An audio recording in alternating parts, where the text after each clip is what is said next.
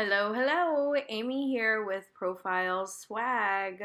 So, this month we did our New Year's design. Super excited about this one. I know I say that every month, but I'm always excited about swag, guys. So, let's get into what's in your swag bag this month. Okay, to get started, we've got our New Year's pasties. So I always see these clocks on nails and I just love the look of it, but I know I don't have time to paint something like this in the salon. So the pasties are a really great way to get some cool, clean designs on the nails um, and they stick really well. You're not going to have any peeling problems. And so we did a custom New Year's pasty for you. And next we've got a metallic glitter bomb. Y'all love these glitter bombs so much. So do I. Makes my life so much easier in the salon. Um, this one's called Poppin' Bottles, and like I said, it's a great champagne gold. You guys will get a ton of use for this even after this holiday. But it is a metallic, so it's not got that holographic look to it. Lays really flat, just a beautiful gel polish.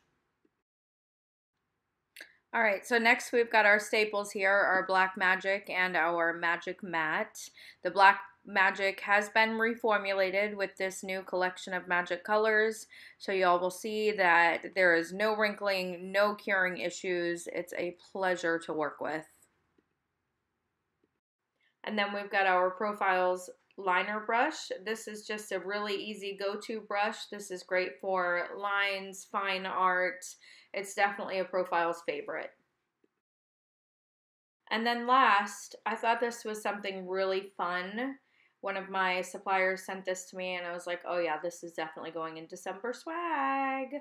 So this is just a ink stamper. So you'll use this like on paper um, I'm a doodler, so I love to doodle and create nail designs. But this is also great if you do professionally like to set up your next nail designs or just maybe show a client what kind of design you're putting on them.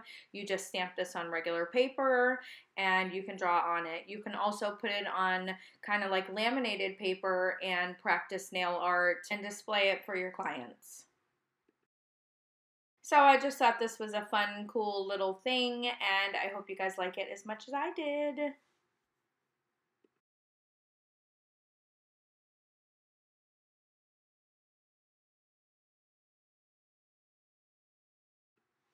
All right, so let's get into our design. We're gonna start with the glitter bomb and I'm just gonna go over just a basic application for the glitter bomb gel polish.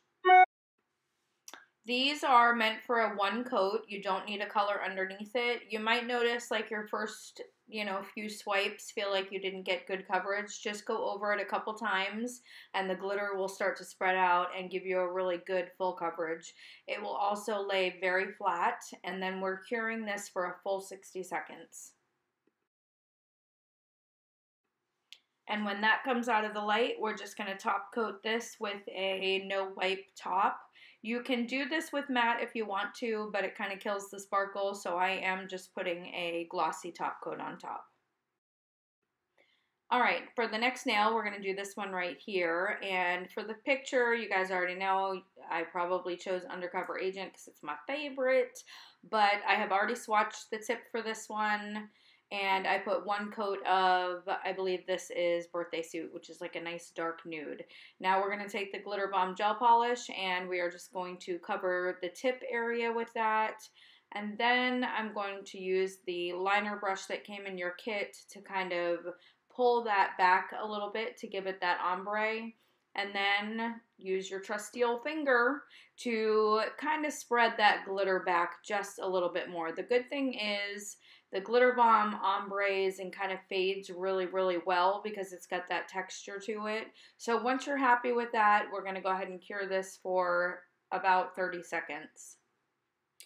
Okay, once that comes out of the light, we are going to wipe off any tacky layer. Whenever you're using your decals, you want to make sure that there's no tacky layer left on top.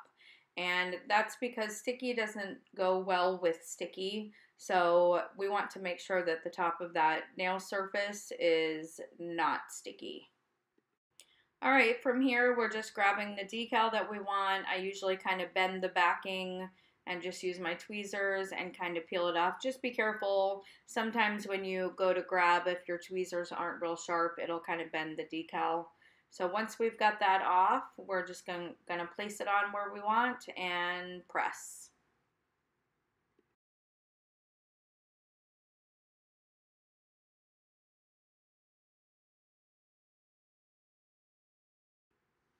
Now we're going to grab a white one and we're going to do the same thing. As you can see, I'm working with super clean, sharp tweezers right now. Ha! Just wait till you see my scissors later.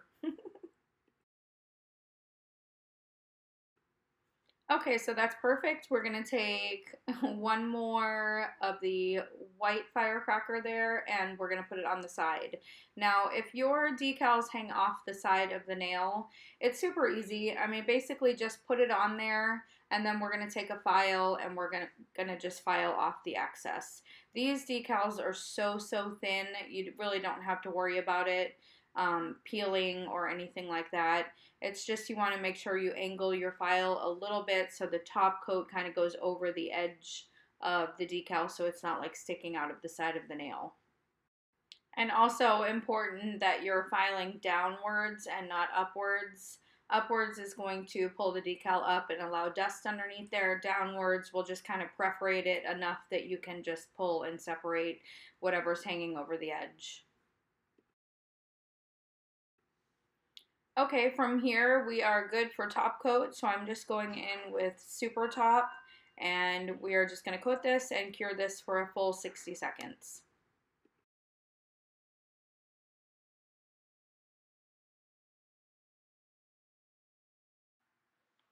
Okay, so the Black Magic, like I mentioned earlier, this has been reformulated, so there will be no curing issues, no wrinkling or anything like that. It is still a one coat coverage, as you can see. And we're just going to cure this for a full 60 seconds. And we're going to do this on another nail because we're going to do two black nails. And again, you guys can see about product consistency here, how much I'm using. I'm getting a nice full coverage. And I will show you guys when this comes out of the light how well this cures. And if you've worked with any of the new magic colors, it really is amazing how well coverage you get. And this just saves you so much time in the salon for all these staple colors that we're using under all of our art.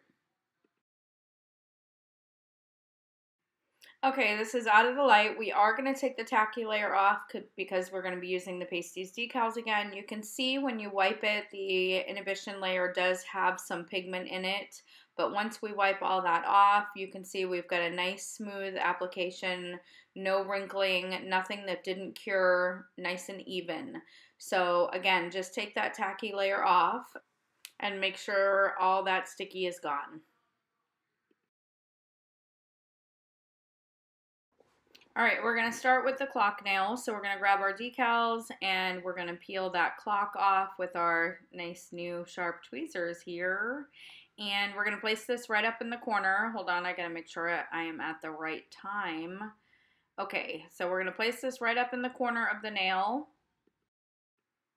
And I am going to have a little bit of decal hanging over the very edge. Now these tip sticks are a little bit more curved back there than a client's real nail would be.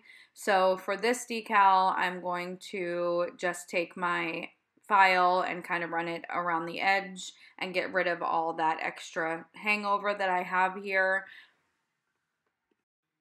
But obviously if you were working on a real finger, you really can't get your file in to do the job there. So what I would do is take a um, e-file bit and I would kind of clean it up that way. I would probably choose the Lily bit, which is a very small carbide bit, or I would choose like one of our cuticle bits, um, the pansy or the poppy, and that would probably do the job as well. but I do think I would top coat or matte top coat that decal first just to protect it from scratching or pulling away or anything. Okay, I'm going to go back onto the decal sheet and I'm going to grab the streamers the in the white color and we're going to take this and we're going to, it's kind of long, so we're going to cut this in half. And I told y'all I couldn't find my nice scissors, so listen, I grabbed what I could. And I've got my nice craft scissors here. Did the job. So we just cut this in half. One will be longer than the other, and we're just going to place those down so they look like they're falling from the clock. And you're just going to place and again press.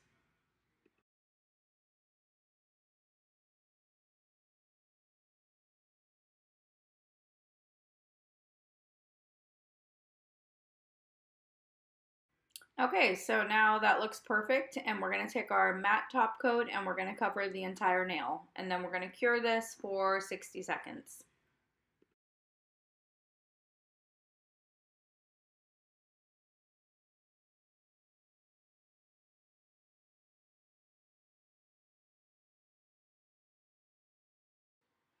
All right, while that's curing, we're gonna go back onto the decal sheet and we're gonna grab some white wine glasses and we're gonna place those at the bottom of the last nail. Again, they're kind of hard to see on these sheets, but when you see it in person, you'll be able to see the designs on there. So go ahead and peel those off and place and press onto your last black nail.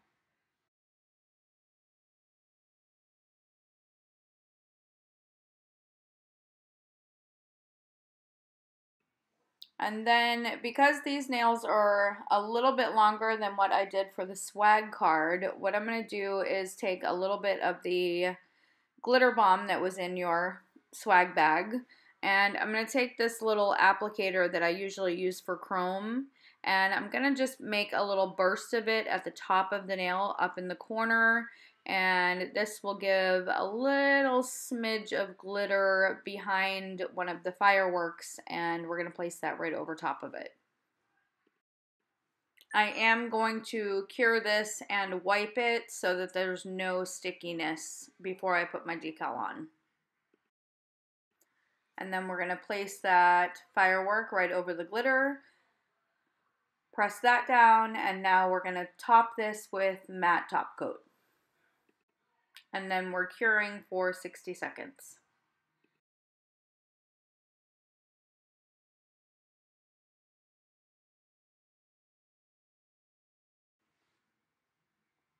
All right, now this is out of the light and we're gonna take the glitter bomb and we're just gonna paint right inside of the wine glasses. You want to leave a little bit of a white line so it just looks like it's full of champagne. We're going to do that to both of the glasses and then we'll put a few bubbles above the glasses and a little dot in the center of the firework. After that, we're curing for about 30 seconds.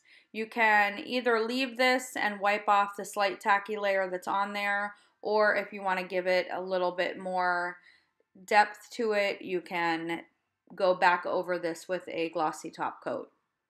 But either way is fine. And just to clarify, I mean just a little bit of glossy top coat over what you've painted with the glitter bomb, not over the entire nail. Okay, so while that's curing, I'm just taking some Super Top and I'm putting this on my palette right now. We are going to paint the Super Top over just the face of the clock. And we're going to start by just outlining and just doing a nice thin coat over the entire face.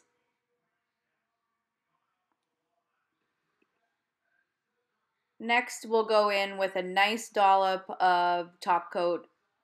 And by having that base layer that we created, that nice thin layer, it's going to help keep it just in that area without flooding out. So I quickly wanted to get in this into the light so it didn't flood and it stays just where I want it. And you can give this a quick cure for like 20 to 30 seconds just so it kind of freezes in place. And now it's out of the light and you can see just that quick dollop on the top kind of melted around and it gives it a nice domed look.